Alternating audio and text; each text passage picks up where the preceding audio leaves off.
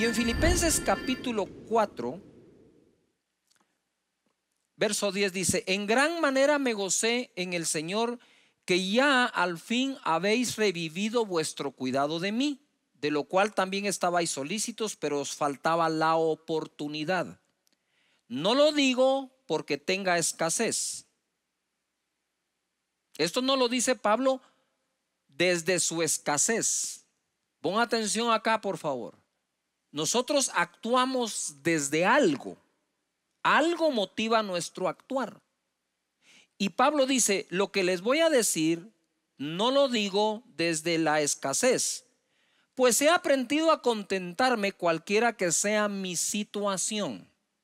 Sé vivir humildemente y sé tener abundancia. Pablo había estado en los dos extremos, en el extremo de la escasez y en el extremo de la abundancia. Sé vivir, dice, humildemente y tener abundancia en todo y por todo estoy enseñado. Es decir, Pablo era todo terreno. Así para estar saciado como para tener hambre, así para tener abundancia como para padecer necesidad. Todo lo puedo en Cristo que me fortalece. Hablemos del nuevo normal pero desde el fundamento que le creemos a Dios que todo lo podemos en Cristo que nos fortalece. Porque entonces sí podemos enfrentar lo que venga, abundancia o escasez. Porque mira, muchos son los testimonios de gente que dice, no tengo trabajo, tengo una escasez, debo todo. Y otros que dicen, pastor, nunca antes en ninguna época había recibido tanta bendición en la economía como la que estoy recibiendo. Unos van a ser probados por la escasez, otros van a ser probados por la abundancia, pero ambos tienen que poder decir, todo lo puedo en Cristo que me fortalece. Dilo en tu casa, todo lo puedo en Cristo que me fortalece. Dígalo toda la familia, todo lo podemos en Cristo que nos da las fuerzas. Mira lo que dice Génesis capítulo 8, verso 22. Mientras la tierra permanezca, no cesarán la cementera y la siega el frío y el calor, el verano y el invierno, el día y la noche. Dios creó todo para que exista balance. Luz de día, oscuridad de noche y ambas están en el día de 24 horas. Frío y calor, ambos están en alguna época del año. Dios preparó al ser humano para que sea capaz de adaptarse. Se adapta al frío, se adapta al calor se adapta al tiempo de la siembra, que tiene un clima, el tiempo de la cosecha tiene otro clima. Se adapta al día, se adapta a la noche. Entonces, dentro de ti y dentro de mí existe algo puesto por Dios ya por naturaleza, que es la capacidad o el poder de la adaptación. Para ir a un nuevo normal, tenemos que comprender que dentro de nosotros ya existe la fuerza para lograrlo. Uy, esto está buenísimo. Nunca se apartará de tu boca este libro de la ley, sino que de día y de noche meditarás en él para que guardes y hagas conforme a todo lo que en él está escrito, porque entonces harás prosperar tu camino. Ojo a lo que dice, mírenme acá. Y todo te saldrá bien. ¿Qué te va a salir bien? Todo, todo lo que emprendas. Es tiempo de nuevos emprendimientos. Es tiempo de provocar un mejor nuevo normal. Mira que te mando que te esfuerces y seas valiente, no temas ni desmayes, porque Jehová tu Dios estará contigo en donde quiera que vayas. Oh.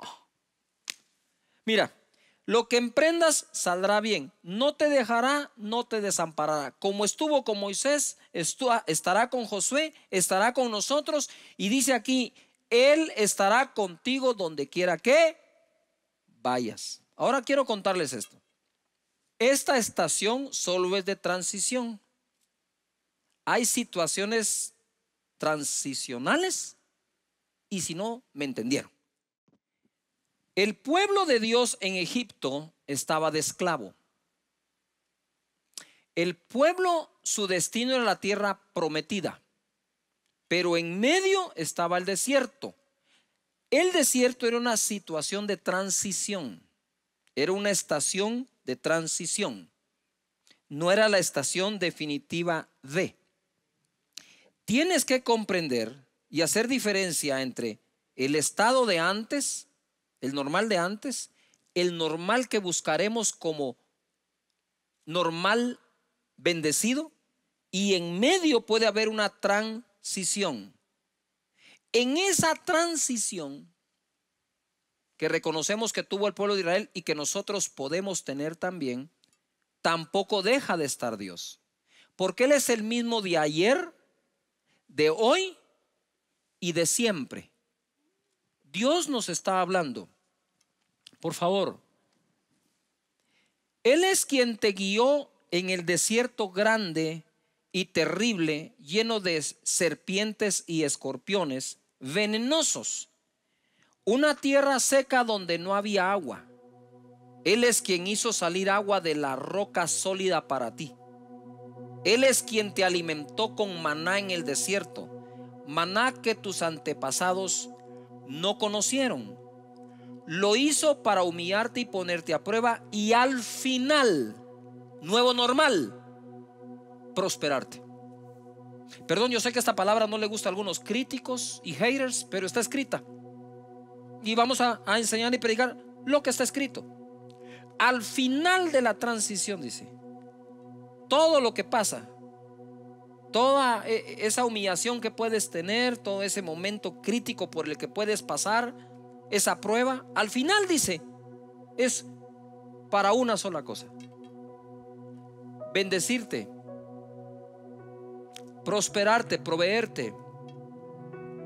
Yo quiero hacer esto en este momento. Toda la gente que nos ve por todo el continente, quiero que cierren sus ojos por un instante.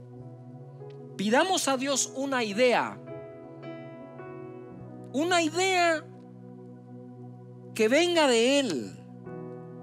Padre, en el nombre de Jesús, Espíritu Santo, tú das ideas al que piensa. Uy, hay una unción hermosa aquí. Y esa idea sea por ti, oh Dios, bendecida. Y lo que como hijos tuyos emprendamos sea por ti, Señor, prosperado. En el nombre poderoso de Jesús, Señor, se habla de un nuevo normal pero se habla de un mismo Dios.